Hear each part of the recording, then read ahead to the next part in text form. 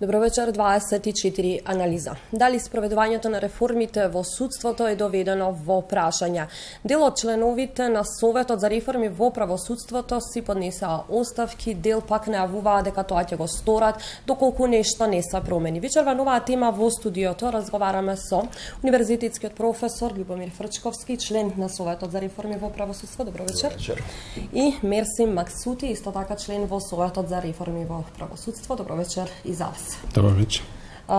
Советот е само декор на Министерството за правда и владата. Тоа беше генерално образложението со кое што а, професорот Калајджиев си ја подпиша оставката од Советот за реформи. Што се случува во Советот за реформи во правосудството? Ако ме прашате мене, ние овие два месеца покажавме во Советот со тој состав каков го има, релативно респектабилен, Далеку подобар од се друго што Комисијата за правда и владата направила во оваа област. Бевме прилично толерантни, се во име на владата и незиниот курс во оваа важна реформа, инаку практично бевме ставени во изолација. Посебно кога ќе ги погледнете комисиите кои во меѓувреме правда ги направила за промена на некои закони, кои ги имаме сега добиено заради вас, ние ги нема видено советот, вие ги добивте овде за емисијата побрзо од нас. Практично, по моје мислење, мене ми беше тоа јасно, таа толеранција правевме заради владата и заради тој голем напор заеднички што го правевме со неа овие големи години за рушење на овој систем, посебно во областа на правосудството како на означен како заробена држава. Меѓутоа, мислам дека сега ситуацијата е прилично критична владата ќе нормално е обвинувана за спорост и немање курс во целата приказна. Луѓето кои се обидуваат да прават нешто тамо се неспособни тоа да го прават и направија некоја каша, судир со нас кој излезе во јавноста, кој фактички не можеше да се избегне, тој ќе избиеше како така. Кога ќе погледнете одборот на овај комисиите како се ставени, тука е едно 6-7 комисии сега ги гледам и нивните шефови кои ги водат, вие практично гледате Советот во центар како некаква англиска кралица, предводена од министерот правда, како изгубен во преводот, без како повеќе како алиби за ова што работат овие валја комисии или што ќе работат, отколку како координатор на таа реформа, како и замислен. Сега, тоа нормално, како се развива ситуацијата, ќе влезе во една во една критична конфронтирачка ситуација за жал и тоа не по наша вина, туку по вина на неспособноста на луѓето кои ја водат приказната. Ако се они способни, ако тоа ја водат на некој начин успешно, и така и така. Меѓутоа, поради нивната лоша, во смислам, стратегија, тие проблеми избиваат. Сега, знаете, тука има еден состав кој не можете да го поцените и кој може битно да помогне. Тоа се воглавном луѓе со добра волја. Тука губат време околу тоа, но со цел да ја подпомогна таа важна реформа. И она што ја, ја она што јас жалам во целата приказна е што тоа така ќе излезе. Е, очигледно неминовно поради невештината, алчноста, можеби и конфузијата или желбата за мок на една мала бирократска група во владата или во Министерството за правда, веќе не знам. Е, при тоа има два типа на проблеми кои ги соочивме сега. Прво, целиот проект на реформи излезе од концептот дека правната е можна во Македонија, дека правдата ќе биде можна во Македонија. Што сакате да кажете дека дека целокупното судство крахираше во можноста да додели правда на своите граѓани. И целите протести и на шарената револуција, на опозицијата тогаш, на енергијата при изборите едни и други, беше водена од таа ситуација. Сега одеднаш вие кај реформата концептот дека правната е можна го заборавате во име на една бирократска рутина на техничка промена на некои закони. Што е скандалозно губење на компасот на реформата. Значи, прво не знаат како големата слика, каде реформата треба да оди, во кој пакет треба до нова година да се донесе, по од нова година со кое темпо другите закони, тоа го имаат изгубено во име во таа желба да се контролира процесот, да има влијание од тој процес. Тој е прв проблем. Губење на компасот на глобалната слика за реформата, а второ е човечкиот состав на материјалот кој работи. Човечкиот материјал кој работи на нега, кој е, кој е, да, кој е, да, кој е прилично, прилично слаб, да нечем скандалозно слаб, А има еден дел кој е компрометиран, ја ги нарекувам рециклирани експерти кои работеле за сите режими, тие се пак неминовно тука. И тоа е етички проблем кој владата не може да си го дозволи. Мацути, се чувствувате ли вие како член на Советот за реформи во правосудство само како декор на Министерството за правда? Па, видите сега, пошто професорот говори од од аспект на организациониот аспект на, на Советот за реформи, Јас малку сакам од друг аспект малку да говорим, од аспект дека сега владата во, во Република Македонија, новата влада, од политички аспект некако дека е ослободено. послободни раце има да, да десува во овој правец, во правец на праење на реформи во, во судството во Македонија. од тоа дека после изборите, мислам, по-ослободена некако се чувства и дека пред тоа некако и ние бевме оправдани на некој начин дека не можеме не можевме до крај да одиме со реформите. И ова треба реално како што мислам дека се гледа во Македонија. И сега значи ова ова имаме ние нов момент после изборите. Значи ние ние на, не, на некој начин кроз преку новата организација на на Советот кој што треба да да имплементира реформите во Република Македонија, значи треба некако на нов аспект да идеме што. И според моето видување, јас мислам дека новата влада и новата полит да има некоја нова политичка волја, да, да, има по, по, појака да е во овој правец. Во која ми смисла? Јас мислам дека од аз за реформите во судството да бидат што поуспешнije тие. Јас мислам дека Советот за реформи, членовите кои го состават, и ако се ценети членови сите, мислам, во Советот, јас мислам дека овој Совет треба да се прошири. На кој начин? Да се прошири на, на начин тука да има и, и представници, мислам, експерти од опозицијата и да има експерти, меѓународни експерти за, за навистина реформите да бидат до крај за навистина не да ние да смениме целиот систем што го имавме, целиот режим, целата на таа неправда што беше во Република Македонија за целиот тој 10 годишен режим што веќе помина. И од тој аспект ние да не правиме реформи само за овој мандат, ние да не правиме реформи само на ова влада или, или на ова политика, за навистина реформите да тргнат најсериозно и на, навистина да, да, да поставиме правна држава и демократијата во Македонија, мислам дека овие проблеми треба да ги опфаќаме да ги гледаме на, на посериозен начин и на подетален начин, за да не правиме ние наше судство и ваше судство, наши суди и ваши суди, за навистина да имаме суди кои ќе бидат достоинствени, кои ќе бидат избранени со, со критериуми, со нај, најдобри, најпрофесионални и најдостојни суди, што на, на, на, на вистина тие ќе делат правда, а не неправда како што беше до сега. Што значи? И тој аспект ја да заокружим, сакам уште еднаш дека јас мислам дека е најпотребно, највистина, најсериозно да се свати овој овој процес и вистина ние ние ја гледам дека сега, не не дека сега не се сваќа сериозно. Нас треба меѓународна поддршка. И поддршка од опозицијата, пошто на крај се сето овој пакет на реформи треба да се усвои преку закони, кога се знае дека многу закони од тие треба и без гласови на опозицијата не може да се усвоја. И во тој мислам. И само тука треба да почнеме, па после технички организациони по-конкретно како што може да доди по поуспешно да биде, нели тоа Тоа е моментално тој проблем, али тоа е... Рековте, треба да се свати сериозно.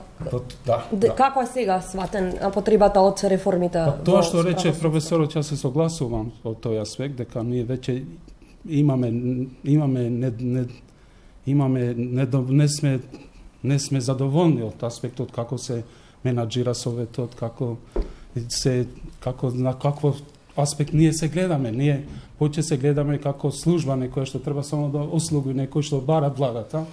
Не не не стават на позиција ние да даваме идеи, ние да сме креатор на цела ова промени на судство што што треба да се случи. И од тој аспект Тоа мислам дека треба да се промени. Фичковски споминавте дека а, бевте толерантни кон владата, што значи а, тоа и како се сваќаат вашите сугестии, односно забелешки што ги што ги има советот? Знаете што, ние немавме шанса да расправаме креативно или обидите за креативно расправање беа спречувани. Ние неколку пати расправавме со коментари на законите кои веќе беа ускица направени од правда или од некого во правда. И тие коментари, како што е со тоа со законот за амнестија, во финалната верзија повторно не се прифатени. И околу тоа имаме еден план кој ќе го кој ќе го операционализираме на 19 после овој состанок на реконституирање ја би рекол, на, на Советот. Второ, изгубивме желба да расправаме за владините полупроекти, за акционите планови на комисиите од правда кои ги правеле, затоа што тоа е небитна приказна, тоа можат они да си го направат, тој временски след, тоа не е нешто за што ние треба да расправаме и не можеме да губиме време за тоа. Нашата приказна и нашата позиција е таква и единствено таква може да обстои, а тоа е да биде координатор на реформите. Не мора да, да ја видиме и ние во таков состав сме, можеме да се прошириме. Партиски приказни околу опозицијата мислам дека се проблематични бидејќи ние не се определуваме како опозиција опозиција, тоа се луѓе кои немаат не се тука поради партиски стави, поради стручност. Се ако има некој постручен, уште достручен, може да влезе секако. Меѓутоа, таа координација каде оди реформата треба да биде од нас составена и ние имаме намера тоа сериозно да направиме. И во таа смисла кога доеме во судир со оваа група нужно, пошто тоа прашање на моќе, знаете. На накрајот на криштата врти сучи, ќе дојдете на тоа кој ги определува шефовите на групите кои работат. Не може да ги определуваат правда. Не може, на пример, гледайте, не може, на пример, групата за законот за судовите и Републичкиот судски совет по волите да ги води државен советник од правда. Па тоа не може да се случи. Како може државен совет клучните закони во реформи во таа насока да ги води тој? Мислам, со сите комплименти, ето добра службеник, не, а во него во членови во групата да има по некој професор, нели, фрлен тука као заче. Значи да појасниме за гледачите дека станува збор вие сте како советот, но станува збор за работни групи кои што вие досега од тоа што а, комунициравме ги немавте како информација, да. попладнево телевизија 24 доби листата на сите кои што членуваат, веќе имате пред вас а, таа листа и дека во суштина зборуваме за онаа листа на работни групи кои што се составени. Да, го покажува експлицитно и го докажува експлицитно она што предходно го зборувавме, дека се работи за една концентрација на мок во анонимна, притоа за жал и неспособна група, која се обидува тоа да го направи преку маргинализирање на Советот и членовите на Совет. Во основа како би требало да биде поставена работата, за да можеме да оцениме дали е добро или е лошо и колку е лошо поставен. Советот треба да ги координира групите, да го координира правецот на развојот на решенијата во конкретните закони. Например, едната група за, да речеме, генерално во кривично правната област може да тргне во една насока. Групата која формира и која ги носи некои закони од нотаријатот или областа на заштитени сведоци, свиркачи, може да тргне во друга насока. Која координира нивната приказна? Во која насока одат решенијата во законите? Кој? Државните советници кои ги водат? Таа група од пет души од правда ги координира? Тоа е генерал штабот на реформите и плюс два рециклирани експерта, седум души. Тоа е групата, тоа ли е штабот? Ние треба да видиме кој тоа го прави. Многу е важно тој центар на мок да го видите. Тоа по дефиниција треба да биде советот. Затоа е тој така составен. Имате 7-8 професор, 9 професора, 5 суди, два тројца клучни шефови на невладени сектори кои се од, од организации, па уште 8 членови од правда. Тоа е состав кој е респектибилен околу таа работа. Големите политички решенија владата ги ги прави, концептот на правец на развој Советот мора да ги прави. И ништо друго. Тој во таа смисла мора да направи две операции. И тие ќе ги направиме. Ако доцниме, поради оваа околност на толеранција и на пуштање да бирократијата работи тоа нешто наместо нас, односно таа моќ да ја прави таа, тоа е поставување на ние ќе предложиме нови шефови на работни групи.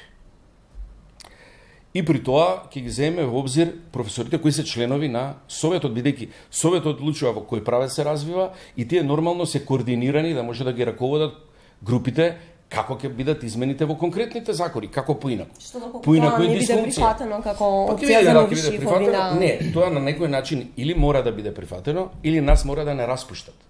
Значи, нема никаква смисла да обстоиме понатака и да звоцаме лево десно, да функционираме као, као рамка на, на нивната слика. на нивната слика внатре што ја прават анонимни бирократи. Тоа нема да се Сепак може би постои таа координација помеѓу шефовите на групите. Ама глед, сега да ви ги прочитам како дека е невозможна координација на тоа ниво. Они концептот каде ќе се развива законодавството не го знаат. Како можат советници од тој тип да го знаат тој концепт? Тој концепт меѓу професорите има дилеми како се движи, а не сега од оперативната. Тие знаете зашто се ставени? Тие се ставени затоа што они ќе бидат нормално во позиција на хиерархија, доминирани од таа група која позади стои и која е клучна командата на приказната. Не се они команданти на приказната. Зато се тие пет тие секретари, помошници, што има највисок ниво е државен секретар од нив, кои ги водат групите. Знаете што значи тоа? И сега, тоа е една работа. Координација, предлози за нови за една нова координација со работните групи преку нивните шефови. Второ, второ е кои закони подјаволите треба да донесат во прв пакет и да се овозможи на владата кредит дека правда е возможна. Значи, ние ќе мора надвор од бирократското загледување во параграфите и промена на закони, да речеме, нотаријатот или во законот за извршување, кои се буранија, ситна во основа сега, да не се лажеме, дали ќе промена тарифата лево и десно, они може со еден гест да го направат. Не е тоа концепт. Ние мора да расправаме три, четири закона кои треба да бидат донесени веднаш, може да до нова година. Значи законот за амнестија, со корекција, не ваков како што е предложен од правда, или од влада, законот за поништување на лустрацијата и начинот на кој ќе се обновуваат постапките во монтираните случаи, онаму каде што има драстично кршење на човековите права. Таму они не се согласија, да речеме, имало несогласување дал со закон, добро, ние предложивме група, опциите кои не се законски да ги разгледа и не ги стави како можност. Тоа се три закона кои на владата ќе донесат ветер у грб ќе овозможат капитал да има, дека правда е возможна, еден рез да направи на почетокот битен, за да овозможи после овие поситни промени да бидат под чадорот на тие значајни концепцијски потези на почетокот, мојот, мојата прогноза е дека губитници, еве да речеме најпроблематичниот закон за обна постапка, нема, осем оние обвинители и оние суди кои криеле докази или кои монтирале процеси. Само тие се губитници од тоа. Сите други, не само жртвите, владата и граѓаните, општата атмосфера е добитник од тој закон. Нема губитник. Тоа мора да го направи. Они мора да разберат дека тоа е важна политичка одлука во оваа приказна за реформите во пресуството и таа треба да се заврши брзо, за да потоа се посветат на потемелни промени, но не темелни промени во судството и Републичкиот судски совет, предводени од државен советник во правда. отвориме и законите дополнително, Максуди, каде може да се лоцира еве проблемот за ова? Дали може би сепак е недоразбирање или сепак станува збор дека тоа доаѓа од врвот на Министерството или од страна на други групи? Ја, ја мислам дека владата има волја да прави реформи во, во судството, И, и мислам дека ова што ни се случува сега во овој момент не иде од тоа дека не постои волја кај владата и во министерството воопшто тоа е влада. Но мислам дека ова, ова со советот работата на советот треба да се свати на нов начин, како треба да се реорганизира и што како што рече професорот, кои се надлежностите, треба да има некој план. Кои се надлежностите на членовите на советот, кои се функциите, ингеренциите што треба да направат, да има некој, некој документ како поточно треба да, да работиме ние како совет, да, да бидеме, да се чувствуваме најсериозно што треба да правиме за ова држава, за, во, во смисла во судството. И мислам ја, значи, да не се повториме од э, организациониот аспект, пошто професорот цело време гледам зборува во тој аспект, и ја, ја гледам дека пред ние да почнеме со реформите, пред э, над се треба да постои политичка волја на, на државата, на, на власта што е, за, за се што треба да направиме да, за државата. И, и пред да почне реформата, за тоа што сме составени како, како совет, како членови во таа совет, треба да почне да функционира легалната држава, правната држава во смисла на тоа да се да се ослободуваат луѓето. Ние има не, не имаме поголеми приоритети од тоа реформи што треба да направиме во судството, во обвинителството. Например, кои се тие приоритети? Треба да се ослободат луѓето што стојат по, по затвори, па треба да се казнат, нели, овие што сторителите на, на кривични дела што направиле, не само тие, но треба да почнат и да се казнат и тие што се работеле со, за, со тие сторители, за, за студиите. И за тоа што рече професорот, треба да се донесе закон за обновување на поставка и во таа обновување на поставка треба да се отворат значи и случаите со судиите кои кои се работиле со со режимот.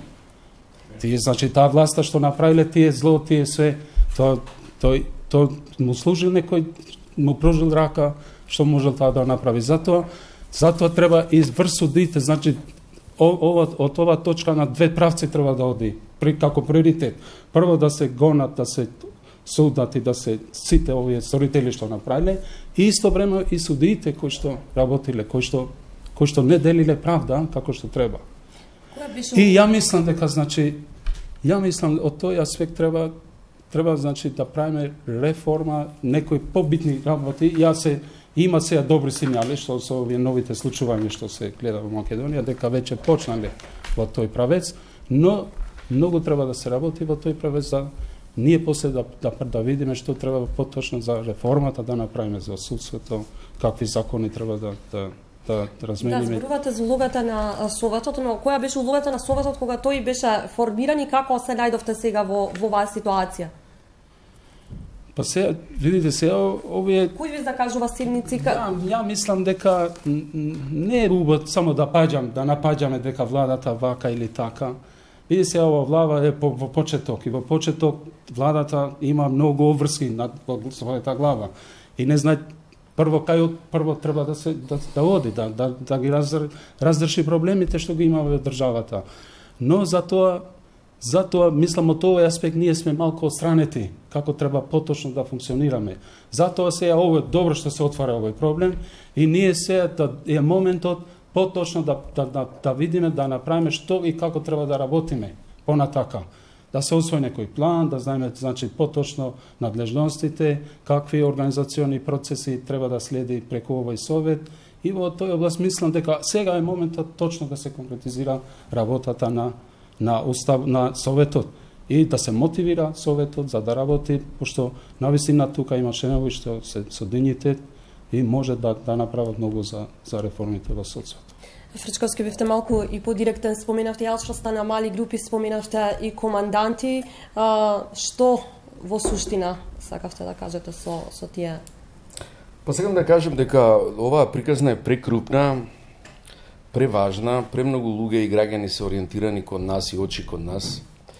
После оваа брилјантна операција на владата на меѓународен план во меѓународната политика, сега работите ќе се свртат кон незиниот резултат во внатрешната политика, а оваа реформа ќе биде клучната приказна во внатрешната политика и ќе е многу голема штета ако владата ја испушта од контрола кој ја води.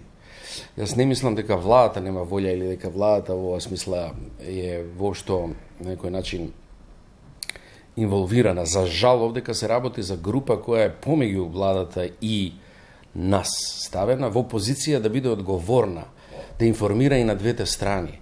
Она акумулира независна моќ и незин интерес е да биде во сенка, позади приказната, така се одржува и така била секогаш одржлива ваквата група. На... Сега таа група, како што ја квалификував, има желба да стане клучна во, по моје мислење и по моје чувствување на начинот на развивање работите во оваа сфера од преходното искуство, клучна во процесот на именување на суди. Тоа е мантрата основна, да бидат место на кое луѓето ќе доаѓаат да прешуваат и ќе фаќаат лоби да станат суди. А, и таа ситуација они да лобираат сега и такво место, такво гнездо си прават во правда, да тоа може да го прават. При тоа нормално им пречат овие поголеми крупни зверки какви што се луѓето кои се поставени во советот на реформи се тие кога ја земат оваа приказна кај себе, моќта ќе се пресели од оваа неформална група која има нелегитимно приграбено во некаква нормална структура на хиерархија на моќ. Која гледа големата слика, која координира работа, која одговара на крајот на кричтата. Е, таа приказна се одвија сега пред нас. Таа типично византиска, може да е партиска приказна од класиките кои аз јас сум ја гледал неколку пати во мојот искуство овој тип на позиционирање на тоа. Сега мислам, идејата е дека е прекрупна реформата тоа да се дозволи да оди до крај и тие групи да се етаблира. Тоа мора да се разбуца сега. И тоа да се постави како што треба. Мислам дека владата има само корист од тоа. Не е тоа проблем на владата, тоа е проблем на неформално групирање во правда. Бидејќи ако видите кои луѓе ги водат, тоа се тотални анонимуси. Тоа тук тие се покриваат со еден и пол професор, ама тој уствари тотални анонимуси се главни се во приказната. Луѓе за кои не сме слушнале, ни нешто животот направиле во областа, ништо, нула, зиро. И сега, нивната позиција е само во сенка. Тие не може да искочат напред, нема со што да искочат напред. Мислам дека ние во расправата ќе се обидеме да не се расправаме со таа група или ако мора да ќе не знам, но да го организираме поинаку работата на Советот. Веројатно, веројатно ќе најдеме на разбирање во правда, ќе видиме како тоа. Има некои први сигнали, И замислете какви се тие први сигнали. Тие се скандалозни. Па добро, запрете со кампања, ние сме воделе кампања. Јас, ти, он. Овие што да доставки. Запрете со кампањата, еве ако треба све ќе ве платиме. Неверојатно. Неверојатно. Они мислат дека нашето неплаќање е проблем. За, за тоа за тоа Гордан поднел оставка. Кажа. И неформално починаат СМС-ови да ни кружат дека еве овој не се бавете со тоа, еве направи све ќе направиме, министерот да прави искочи во корис кон вашите барања, еве и ќе ве платиме. Замислите, кој скандал. Значи неверојатно, неверојатно нечувствување каков крупен проблем е во прашање и дека тоа е небитна работа, околу може да некому е битна сега, плачење, плачење тоа валја нормална работа, никој не расправа за тоа. Во овој момент никој не расправа за тоа. Но за тоа да не сведат, на таа приказна да не сведат, само ќе навредат во таа смисла. Они не разбираат што е приказнато и што е само потврда на проблемот, дека се сакаат те купат на начинот, не знам што сакаат уствари со тоа. Према тоа, тие потези се овај ќе ставиме на страна, за нив нема да расправаме. Она што мислиме ние да го организираме е да ја поставиме нашата агенда во рамките на таа позиција кон групите. Нешто ви кажав околу групите кои се формирани, ние мора да имаме увид во тоа како нивниот развој на реформата се одвива. Кои предлози ги даваат, тие мора кај нас да дојдат. А не како што се случи со стратегијата. Ја направија стратегијата, пратија у Брисел. Брисел имаше коментари на неа. Они не ни ја дадоа нас да ги видите сега, гледавте стратегијата, да ги видиме сега коментарите од Брисел. Аха, критики има тамо, што мислите вие? Не, они си ја скрија, ја поправија стратегијата под маса, да не се белмира, демек не критикувал Брисел, пак ја дадоа влада, па дури дадоа и образложение, деловите од... Комисијата, комисијата што ја предводеше една моја колешка, па дадоа образложение тамо кај што не можеле да ги прифатат критиките, зашто не можеле, и пак им ја комуникација некоја комплетно надвор од нас, а ние би требале да бидеме тука клучните во таа приказ.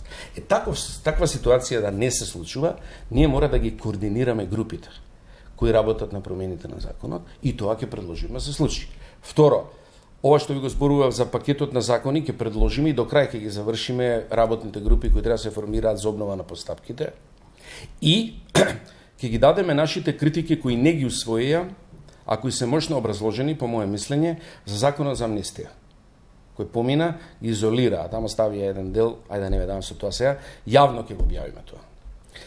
Трето, мислиме дека ќе го поставиме пакетот на нашата идна работа, не само во рамките на овие приоритетни закони за кои расправаме, а тоа е кришно-правната област, судството, обвинителството и овие поситни закони околу изврш...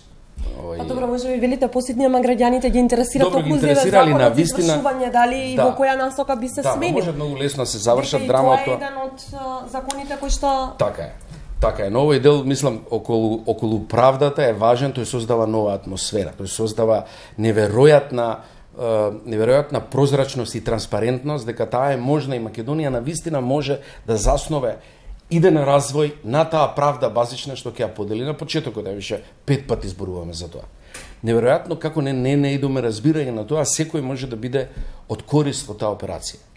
Потоа мислиме да го поставиме корпусот на закони кои треба да се поништат или укинат.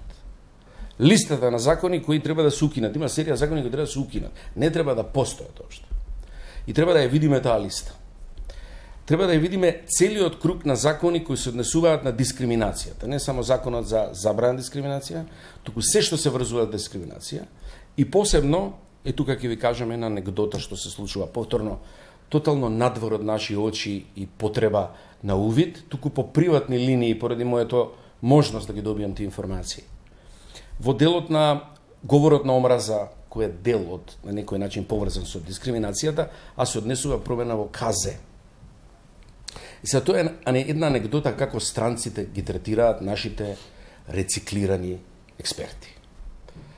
А, тој закон го правил со пари од ОПСЕ еден од тие рециклирани експерти и го промашил, ако земал пари, ја утнал дефиницијата во КАЗЕ. Потоа, ОПСЕ повторно прави проект да ја промени грешката на својот овај експерт кој го ангажирала и повторно е тој и тој го води делот за КАЗЕ. Точното го покрива исто, си ја поправа собствената грешка за нови пари. Сега, бидејќи бев заинтересиран за тоа, им се јави директно. И они ми одговорија, а не, не, не професоре, нема тоа да дозволиме. Сега го работи тој делот од законот, го работи нивен вработен, еден дечко кој јас го знам, бидејќи работеше во Хелсинки и знам дека знае тоа да направи. Значи, гледате како го третираат нашиот познат рециклиран спет. Не го третираат како бугарски космонавт. Она не нарани кучета и не пипај копчето. Они не му го даваат се тоа да го направи, бидејќи знае дека не знае, нека ги земе парите, нека не пипа. Друг нека го прави. Еден на тој ниво е ставен човекот кој му е мерак или алчен да ги води сите групи на реформи и во бившиот режим и сега и не знам како владата не може да го одбегне. Ние ќе предложиме негова, може да ќе го замолиме на состанокот Гордан Каладжиев да се премисли, да се врати и да ја води таа група. Ке видиме ке расправаме.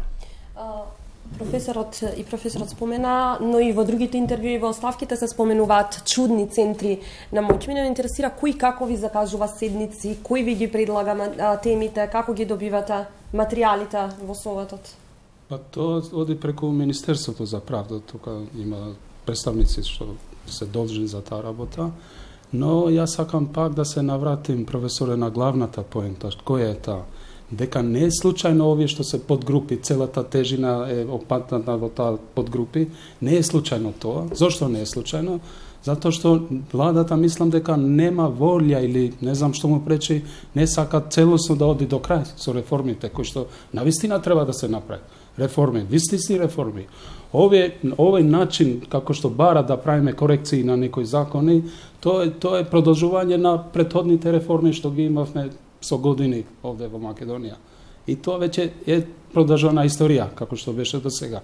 И јас мислам дека, навистина, овој процес е најсериозен. Што треба да направиме, професоре?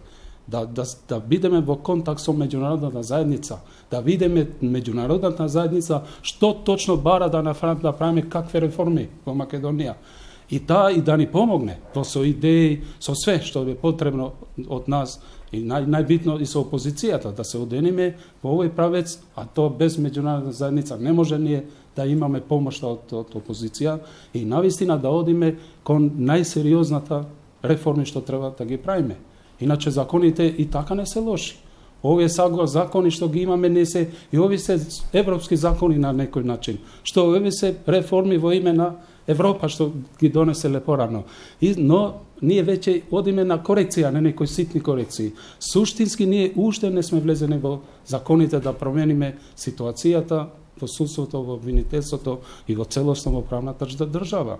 Затоа мислам, треба нова организација, мислам во се за тоа да имаме меѓународна подршка, експерти, и да се уклучи и позицијата и навистина да правиме реформа како еднош за да сегуваш да почнеме нова страница во Македонија во област на судството. Затоа, мислам ја, од овој, од, од овој аспект треба да гледаме овој проблем.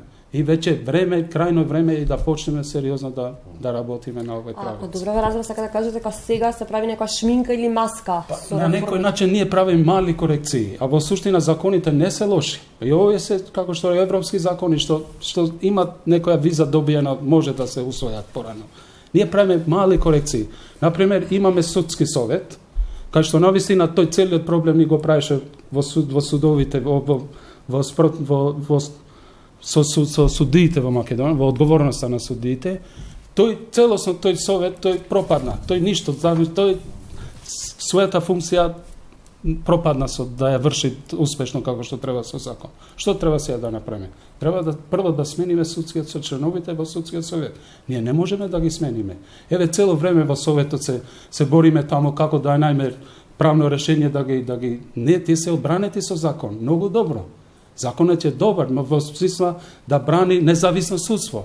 Но политиката влијае, политиката ќе ќе ќе ќе најде дупка и ќе влезе во, во, во целосно судство и ќе контролира целосно судството. Затоа мислам треба најсериозно политичка волја да има на це. Ове пак без политичка интервенција не може така лесно да направиме никакво судство.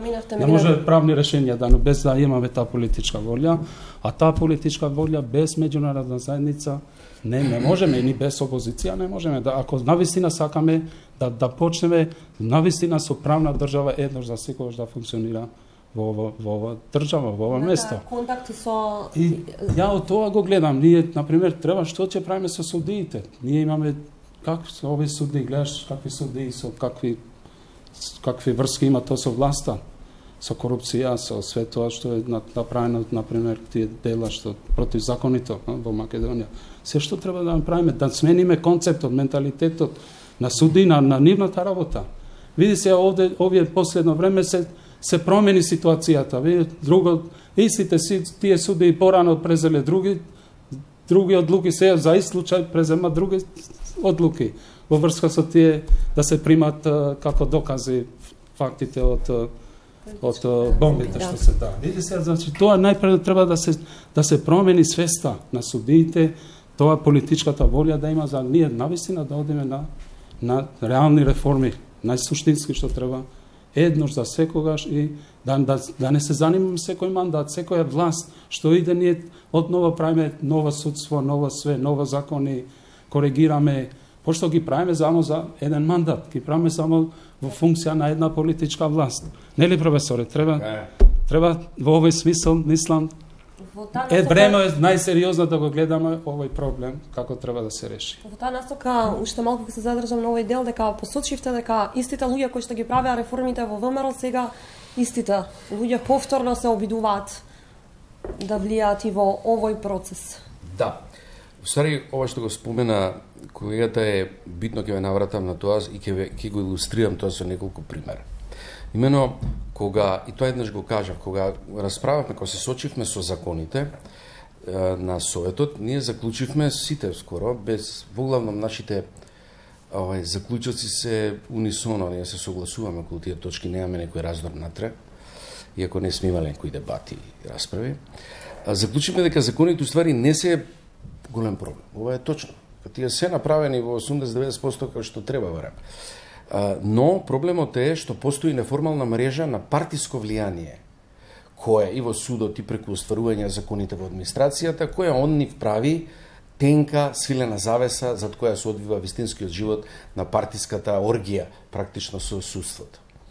И сега, прво, тука се истите луѓе, кои ги прават истите реформи, значи двајца од составот на 6 7 комисии има заедно со нашата, Совет на реформи и 5 комисии, Четири ги водат бюрократиот правда, две ги водат рециклираните експерти од времето на ДПМН што ги расправиле, процесот на промена на управни повторно ќе ги водат професори кои предходно го водеа тоа за предходниот период и ние сме тука како нели и кебана у средината стајани советот на реформи. тој состав зборува, кажавме, за да овозможи сивата бирократска група да влие и да има потоа засилена можност, има можност и ви, ви определувањето на судиите. И сега илустрацијата нова, дека ова не е констатација обвинување, него е прво искуство околу таа приказна, потоа илустрација.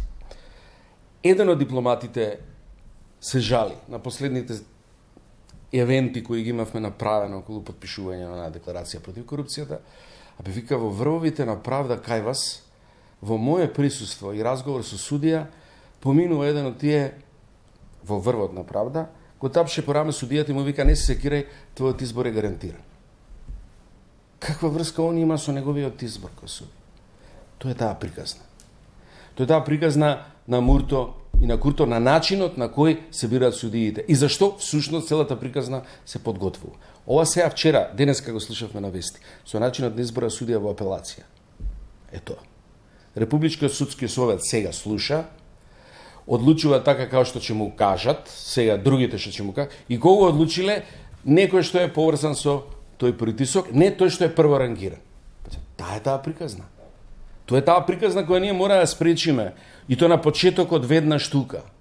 Ние нема, не можеме, прескапа е приказна да дозволиме таа работа да отиде натака на истиот начин на она оној виц на Мурто и на Курто. Постојат ли се уште, еве, кога го отворивме тоа прашање, она тефтерче од кое се именуваат судиите, бидејќи денеска, Мислам... а, апропо реакцијата на Лазар на Мислам дека уште го немаат консолидирано тефтерчето, се уште работат со овакви мали скинати папирчиња, али али почнуваат да работат и тоа функционира, тоа е мок, знаете, луѓето се чувствуваат мокни и комотни. Таа позиција вие ќе бидете тамо, па доаѓаат, па ме молат, па врски, па ова, па... Тоа мора да запре. И сега на крај, независно кој го врши. На крајот на приказната, на крајот на денот, сметката ќе дојде кај владата и кај премиерот. Тој мора околу тоа да биде, да биде јасен. Утре имаат состанок во Охрид, министрите што се враќаат сега од овие регионални авантури, позитивни се окей, имаат тема на расправа, сериозна тема на расправа во Охрид. Тоа е заглавувањето на најважната реформа за која ние треба да стоиме, а тоа е реформата на правосудството. Заглавување на таа реформа, они треба да седнат и да што ќе прават со тоа. Дали ќе ги постават и треба да се бават со тоа. Не да слушаат информации од врвоите на правда вака било, па направите така, окей, ако мислите така. Не, не, во своји раце треба да ги преземат тие работи. И да ја контролираат таа приказна волјата директно да ја преточат во акција и во промена. Тоа е мојата Отворихте ви прашањето за судскиот совет, но веќе ме прашам во чии раце тефтерчето на Гордана Јанкуловска или дали се уште постои тоа тефтерче на Гордана Јанкуловска Кој е вашиот став по однос на она што веќе го зборувавте, да, веќе го отворивте како дебат? Судскиот совет од тука треба прво реформата да почне, како најодговорно тело за судиите што треба да ги дисциплинира, нели тие именува и разрешува судии, но како треба тие имаат одговорност, а со, со закон не немат кај да дават одговорност. И сега ние иако тоа цело судство што го имаме е од таа од, од тој совет, И сега како ние да ги пенализираме тие луѓе кога со закон не можеме никако се од се покриени со закон и тоа е на некој начин добро законот е смислена добра идеја демократски да, да, да гарантира независност судство за тоа е направен дека не може така лесно да се разрешува но тие ја за, за употребија та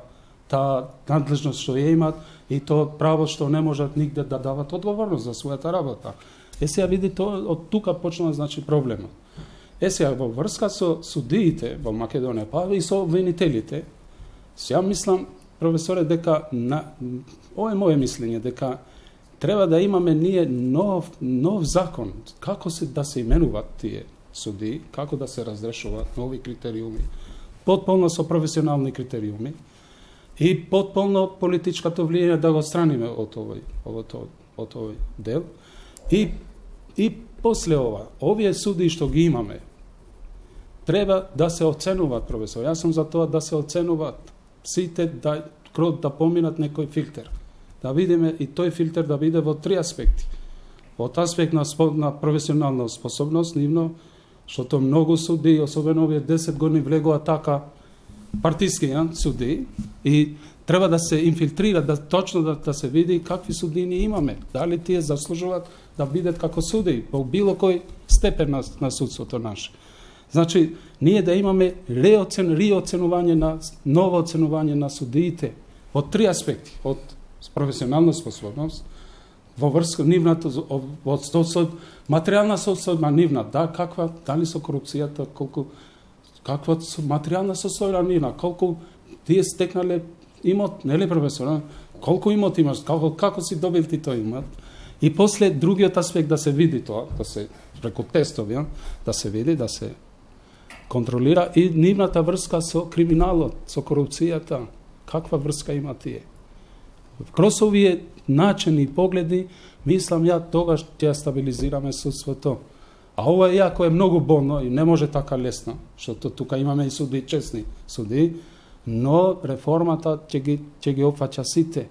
Мора да поминат. Тие што се честни ќе поминат најлесно, тие што не се или ќе дават оставка пред да почне овој процес, или ќе видиме со закон како ќе го средиме тоа, но еднош за секогаш да почнеме на вистина да правиме реформа, вистинска реформа во судството и во винителството.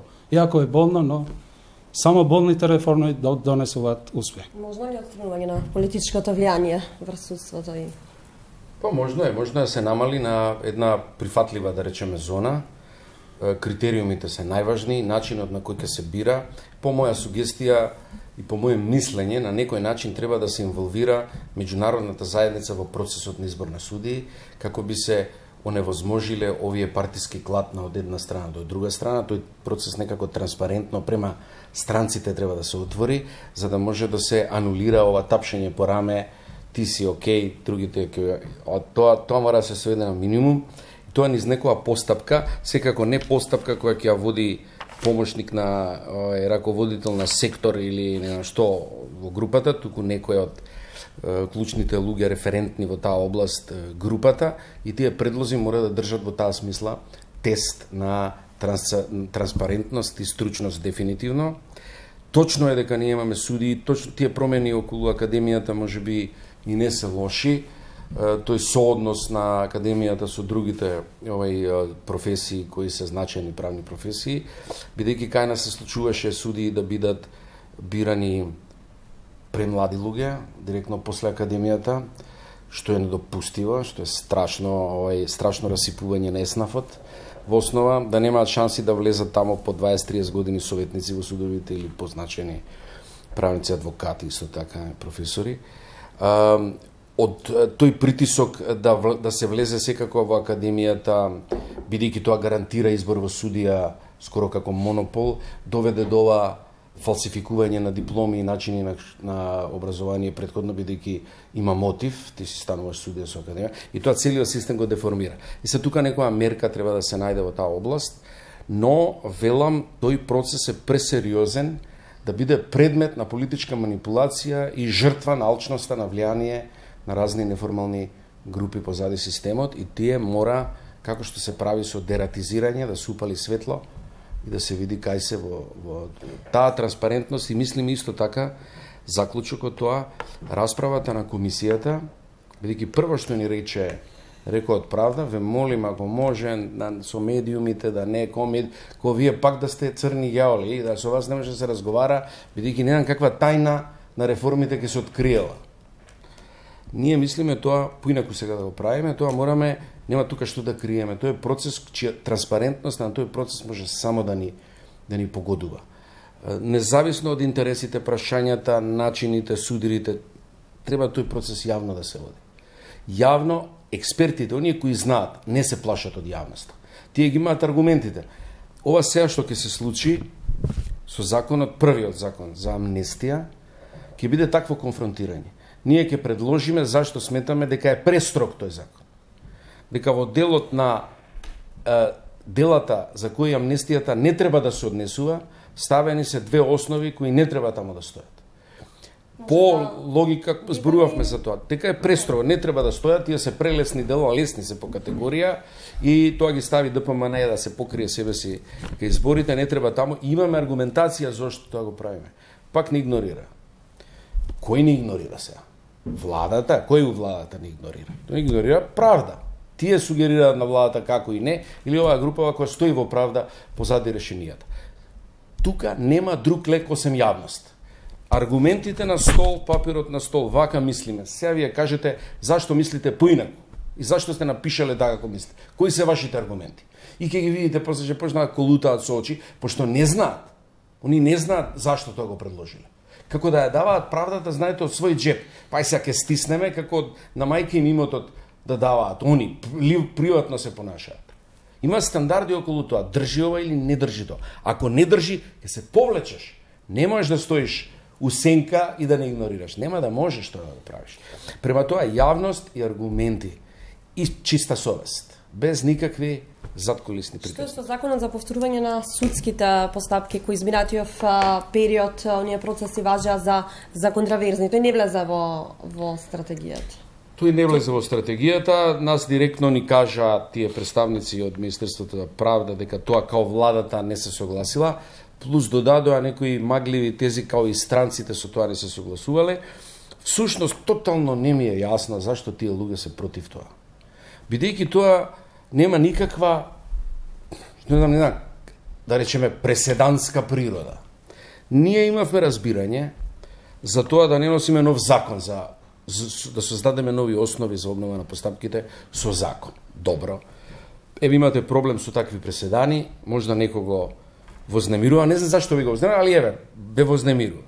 Ние ќе најдеме друг начин, користејќи ги користејќи ги постојните механизми, сепак да постигнеме иста цел, бидејќи е битна целта. Мене, мене, мене она што ме скандализира е како они не разбираат дека тоа е многу важно, дека вие не можете да го легитимирате предходниот поредок на неправда со тоа што ќе ги што нема да ги обновите овие постапки, што на жртвите ќе им речете сте биле жртви, сте заслужиле, ај здраво да не ве гледам. Не можете така да се однесете со тие луѓе. Тоа е гест во темелот на новото општество односно во новиот гест. Вие мора да се однесете кон тие луѓе со извинување и најмалку што може да направите е да ги обновите постапките. При тоа тие не сакаат да бидат алиментирани. Тие луѓе сакаат да им се обноват, нека ги судат пак.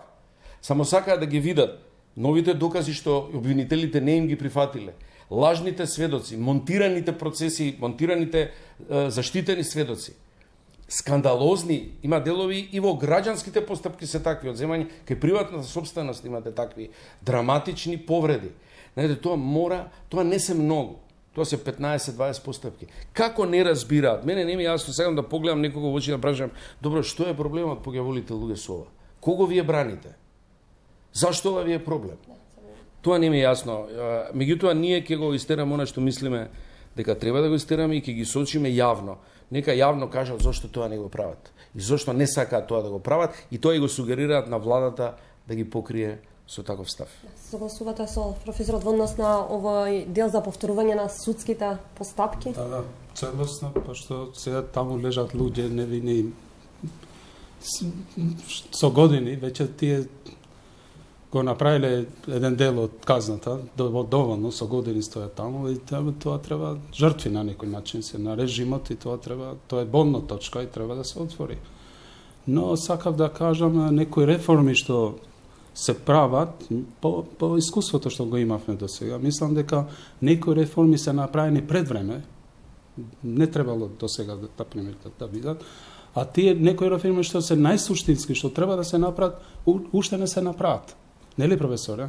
На пример Академијата за обвинители и, и суди што се спомна овде, таа реформа предвремена некако, ми се чини. Освен тоа што тие се многу млади луѓе, треба да разрешуваат за предмети милионски евро таму случај, зависно или тешки случај таму кривични, тоа млад човек да решава, тоа некако не, не можеш да ја прифатиш лесно.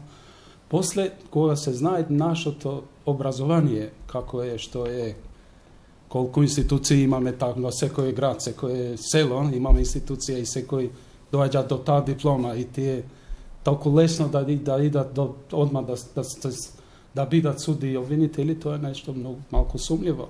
Затоа, која на другата страна има многу професори искусни, адвокати искусни, соработници во судството искусни, тие на некој начин не доаѓаат во, во, во обзир. И ова значи некоја реформа што не може така лесно. Иако е сугерирана од Европа тоа, од Европска комисија, но според нашите околности и како се развиват работите кај нас, тоа нешто некако пред време ми, ми изгледа. И од тоа е така. Одиме куса со реклами, потоа се враќаме во финишот на емисијата.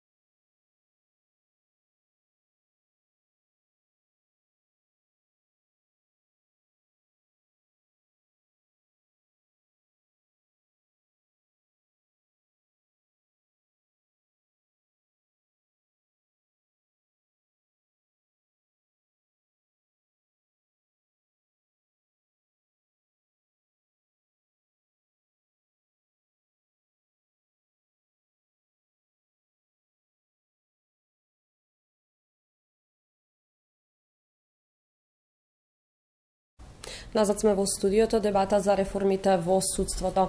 А, практично требаше да биде донесен пакет на реформи кои што беа клучните реформи во правосудството. Сега гледаме дека малте не тие се заглавени, а со тоа и планот 369. Што тоа ќе значи и што доколку еден не би да слушнат вашиот глас, дел од членовите си поднесоа оставки. Сега реформата опфаќа повеќе закони, но тие некои 3-4 закони се најбитни што се што ги спомнавме овде. И мислам дека пак ќе се вратиме владата, мислам дека е е опфатена со многу реформи во државата. Една ова со реформите во судството се една еден дел од реформите што ние треба да ги правиме како држава. Извештајот на Прибе предвидува и други реформи не само реформи, туку и предвидува државата и ова влада има обврска да нормализира и односи со соседските држави. Значи, владата е многу обтератена во, во многу области и ние за тоа имаме свест дека за тоа ние бараме значи да бидеме поконкретни и да, да, да, да знаеме што точно ние како совет, како тело, кои наши надлежности, задачи, се треба да ги вршиме и да имаме послободни раце во тој правец. Иначе владата има и други приоритети, не се само овие. Владата приоритет е НАТО, тоа се очекува, значи интеграциите, процесните интеграции на Македонија, што тоа е најбитно, на тоа се, на, на се, што од тоа зависи целиот другите реформи и целиот други процеси што треба да се движат кај нас, зависат од тоа.